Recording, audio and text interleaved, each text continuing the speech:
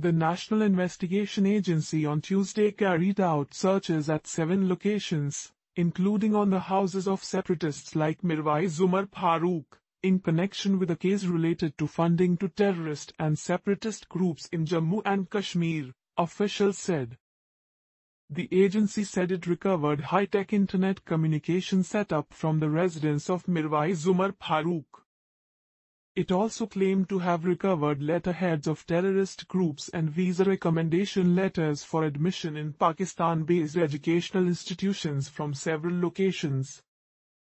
The NIA team, accompanied by local police and CRPF personnel, swooped on the houses of some of the separatist leaders, including the Mirwaiz, Naseem Gilani, son of pro-Pakistan separatist Sayyid Ali Shah Gilani, and chairman of Tehreek-e-Hurriyat Ashraf Sehrai, they said. During the searches, NIA teams recovered incriminating documents including property papers, financial transactions receipts and bank account details. Electronic devices including laptops, e-tablets, mobile phones, pen drives, communication system and DVRs were also seized during the searches, the NIA spokesperson said. A high-tech internet communication setup was also recovered from the residence of Mirwaiz Umer Farooq, he said.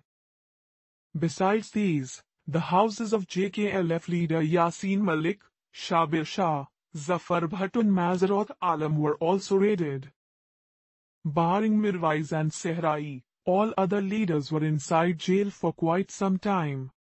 The searched premises included those belonging to top separatist leaders namely Yasin Malik, Chairman JKLF, Shabir Shah, President JKDFP, Mirwaiz Umer Farooq, Chairman Awami Action Committee, Muhammad Ashraf Sehrai Chairman Tehreek-e-Hurriyat, Masarat Alam, General Secretary APHC, Zafar Akbar Bhatt, Chairman JKSM and Naseem Gilani, son of Sayyid Ali Shah Gilani, the spokesperson said. The NIA had questioned two maternal uncles of the Mirwaiz, Maulavi Manzoor and Maulavi Shafat, and his aides last year. Both of them are retired senior government officers. The NIA probe seeks to identify the chain of players behind the funding of terrorist activities, including those who pelted stones on security forces, burnt down schools and damaged government establishments.